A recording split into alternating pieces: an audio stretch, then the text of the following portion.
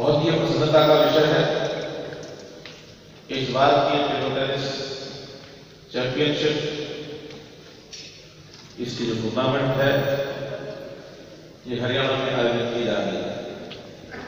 और ये स्थान जहाँ हम आए हैं, इसको एक प्रकार का हरियाणा का खेल गाँव भी कह सकते हैं।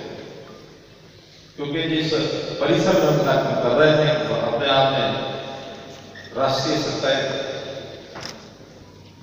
खेल स्थल है।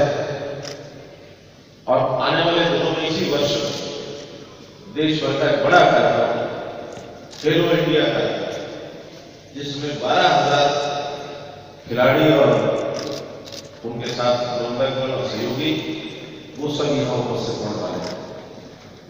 हरियाणा को एक गौरव इस बात का कि देश, प्रदेश की राजधानी चंडीगढ़ के साथ लगता हुआ हमारा ये महानगर प्रकार की फैसिलिटीज़ है कि बड़े बड़े यहाँ हुआ करेंगे।